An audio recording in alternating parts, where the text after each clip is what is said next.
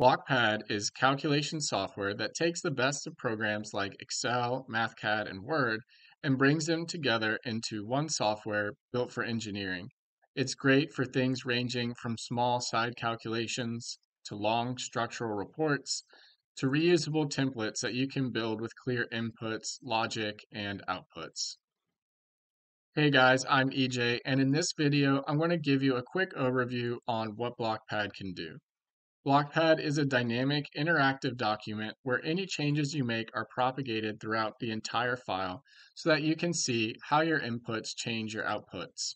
There are a few core features that really make Blockpad tick, and the first of those is named values. To show you guys how easy it is to name a value, I'm going to press the equal sign to start a new equation and type in pressure sub 1 equals force divided by area and press enter. And when I do that, I now have this equation with a name, a formula, and a result. And if I press the equal sign for a new equation, then I can use that name and do any kind of math with it that I need to using the Blockpad formula language.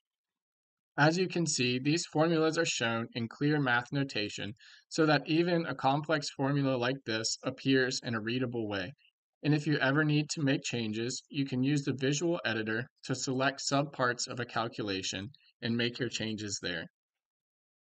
Blockpad has all of the units intelligence that you would expect, including unit conversion, auto conversion for adding and subtracting values, unit multiplication and cancellation, comparing values with different units, and importantly, giving you an error when units don't work out. Blockpad has all of the math that you need at a practical engineering level, including spreadsheet math functions, numerical equation solving, arrays and matrices, custom functions, logic and if statements, scripts and programs, and complex numbers. In addition to this math, Blockpad gives you tools like show steps to help you understand things, where you can show the values in your formula plugged in and if your inputs ever change, then the steps and the results both change. Blockpad has native spreadsheets and tables, which are like mini spreadsheets inside of your document. I have a table here, and if I double click on this cell, you'll see that I have a formula that references this value from the document and this cell here and gives me my result with units intelligence. I also have this drop down that's defined based off of the options in my table. And I have this value force, which uses VLOOKUP to look in the table and the drop down and give me my result. Blockpad also has full spreadsheets in the form of sheets, just like in conventional spreadsheets. These sheets can also be referenced inside of your document so that you can use lookups and sums or whatever you need to. Since the main interface is a lot like a word processor, we have word processing and formatting tools available, like tab stops to help you organize your equations, or auto-generated table of contents, which are made based off of headings that you specify, and then paragraph formatting and style rules to help you get your document formatted in a clear and professional way. Finally, Blockpad gives you tools to help you organize your calculations. For example, these sheets, like in spreadsheets, which can also be reports or these word processor environments or notebooks. And all of these sheets inside of your file can reference values from each other.